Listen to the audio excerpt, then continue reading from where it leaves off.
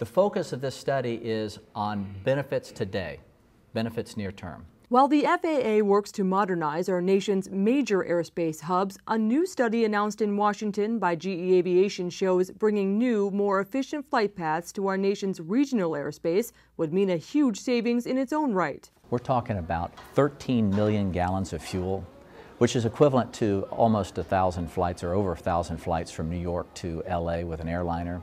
275 million pounds of CO2, which is equivalent to planting 1.4 million trees, and 65, almost 66 million dollars of economic benefit. That's the equivalent of about 1,600 middle-class jobs. That's something I can relate to. And here's something else you're bound to relate to. The study shows implementing required navigation performance, or RNP, landing approaches at airports like Portland, Salt Lake City, and 44 others would save travelers a total of two years spent doing this. A fact that has GE Aviation eager to get to work redesigning flight paths at these mid-sized airports, saying the sooner the better, given that air travel is expected to double in the next 20 years, experts say, causing costly delays equivalent to $32 billion.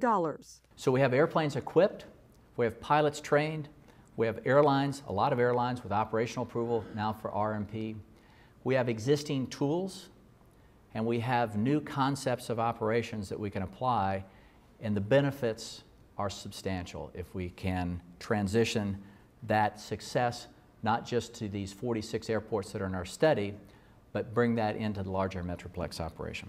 For me, it's exciting, and uh, I like to see it apply to more than just the transport category airplanes. So eventually, everybody's going to be up there sharing the airspace and doing it in the most efficient way. And here's how that works.